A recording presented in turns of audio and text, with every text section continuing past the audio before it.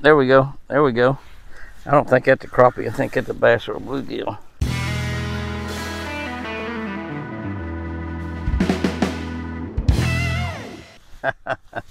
hey guys and girls, how y'all this evening? I walked down here at the dock. I can't throw that very far. It might not work.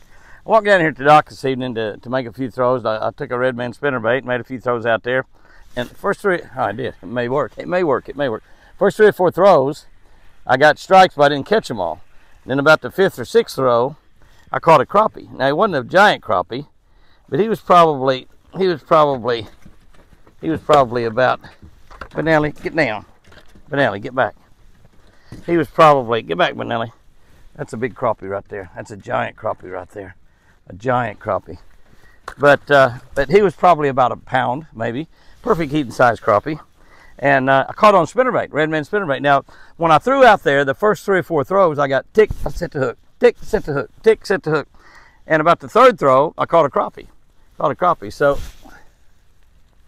can't throw that. I've put a 16th ounce jig, or I have a 16th ounce jig on here, a crappie magic jig, and I've got a little, uh, I've got a little, a little swimming minnow on the back of it, a Lucky Strike swimming minnow Lucky Strike, the world's luckiest fishing tackle. the world's luckiest fishing tackle. And, uh, but I was throwing pretty far out there, and the strikes were pretty far out. And I need to have an eighth ounce. I can throw a lot further with an eighth ounce. I got 20 pound braid on this reel, and I don't have near as much line as I need on it. That might got out there far enough. The bites were coming pretty far out there on that on that spinner bait. But anyway, so I, I want to get this to see if I catch a few crappie. And that crappie was much larger than the crappie I caught. I thought maybe a bunch of little ones had moved in. I have not been catching any crappie off the dock.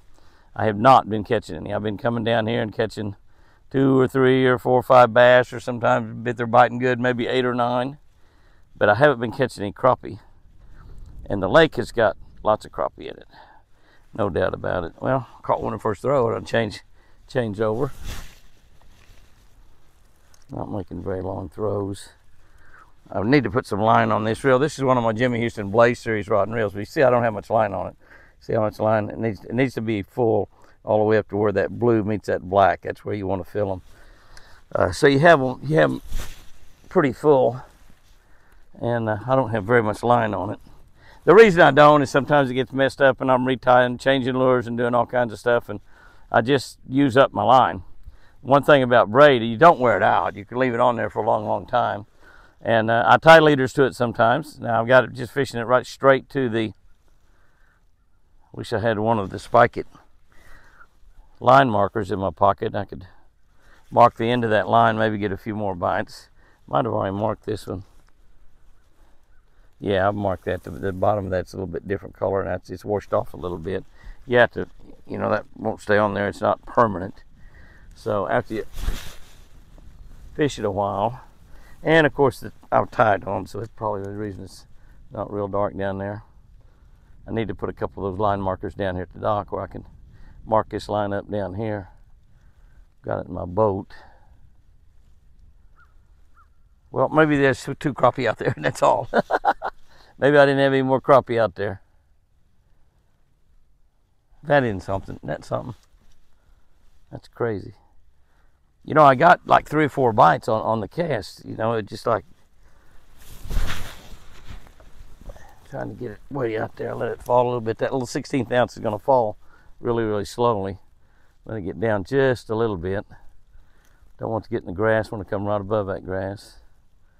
There may not be hardly any out there, may just now be starting to come in. But when they come in, a lot of times, a lot of them come in. Sometimes you can sit here and catch 30 or 40 or 50. That's what I was thinking about doing. I was thinking about making about eight or 10 casts and catching about eight or 10 crappie. Didn't work out that way. I caught one old big one, didn't I? Well, bullcorn.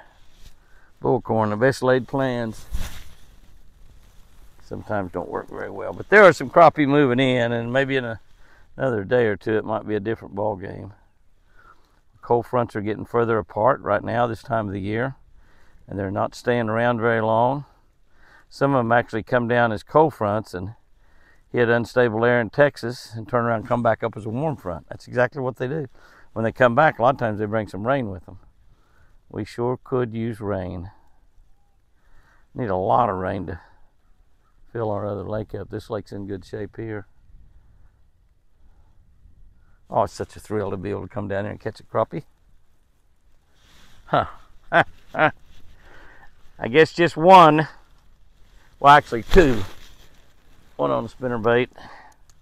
One on crappie magic jig. I thought I might throw out there and catch one like about every throw. Yeah.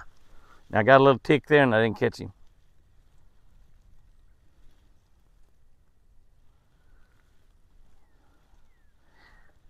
They're probably still down in that grass. I'll probably have to get right above that grass in order to catch them.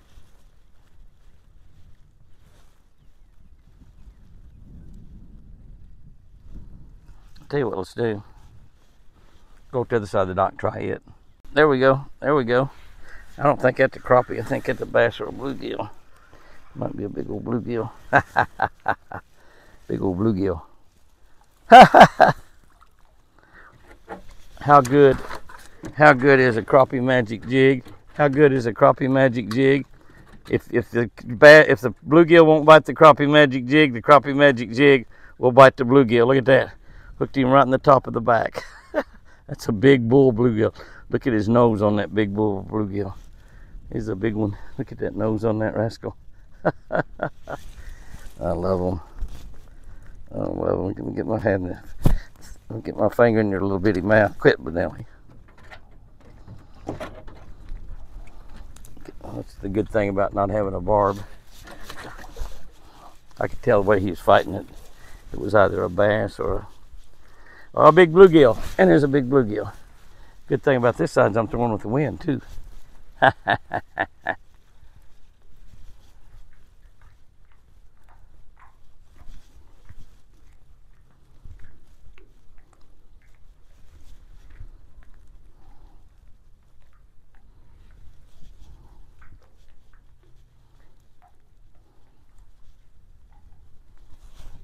Huh. Well.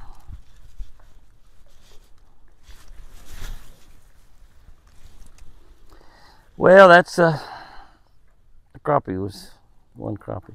If the wind was blowing the other way, I could get way further out there. I think the crappie are further away from the dock than I'm throwing over there because they, they were biting that spinnerbait pretty far out there. The first ones that would tick and it was biting it pretty far out there. They weren't biting it up real close. I got a little I've got a little round head crappie magic, crappie magic with a little lucky strike swimming minnow on it, little curly tail swimming minnow. And it's just a dynamite bait. I think they call that color electric chicken, I'm not sure. I like the sounds of electric chicken though. I like to put chicken in electric and then fry them.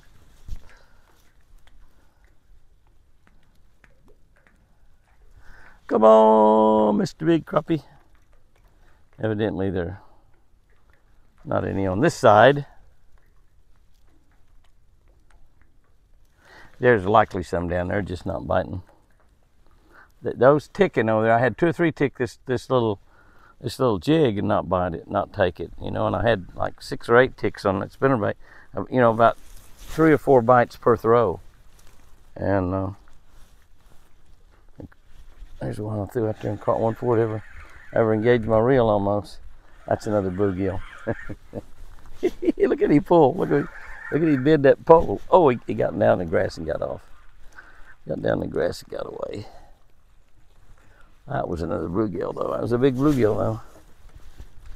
Surely I can find a crappie sockeye out there somewhere. You know, probably some of those ticks were probably bluegill hitting that spinnerbait too. Now that I think about it, because I've thrown out here and got a couple bluegill on this this jig. There may not be many crappie moved in here yet. When they get in here good, and it's right, it's usually right this time of the day. You can really whack them. You can whack them. Might not catch 20 or 30, but sometimes you can catch six or eight pretty quickly. Be a little six pack of them, you catch almost all of them.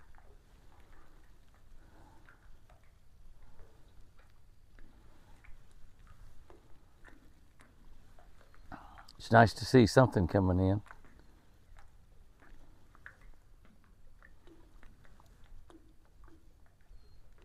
And I'm gonna go back over and throw against the wind a couple times. At least I caught a couple. Actually, that's four. Two of them y'all didn't see. Trust me though, I caught them. Trust me though, I caught them. That's right. That's right. We'll walk over here. Walk over here. And uh, make a few more throws.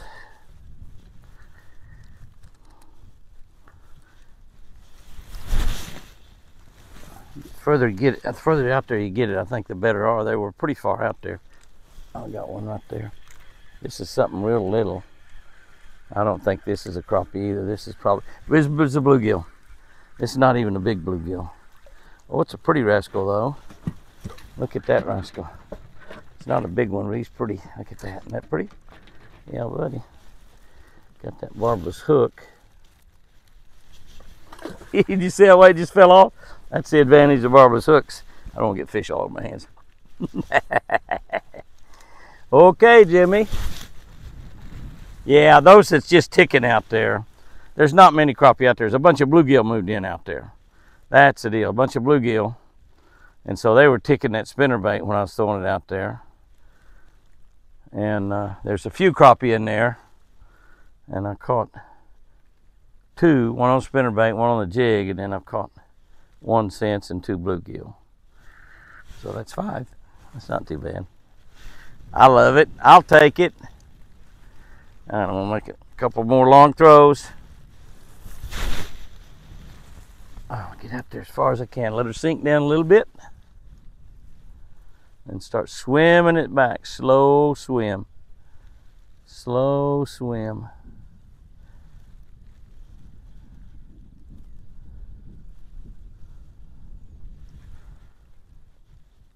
I like to catch them swimming that jig. Good solid thump. well, this is not a crappie either. It's another bluegill. Well, all those ticks and bumps out there were bluegill, okay? But bluegill are fun to catch. A couple of those bluegill were giants. This is not bad. It's not a giant bluegill, but it's not bad. Vanelli, get back. Vanelli, quit. it's big enough that you can barely get your thumb in their mouth just a little bit and hold them. That's a big giant bluegill right there. Guys and girls, go catch you some fish. It don't matter what they are. Don't matter what size they are. It just matters that they got a head on one end a wiggle on the other end. And I love them. And I sure do love you.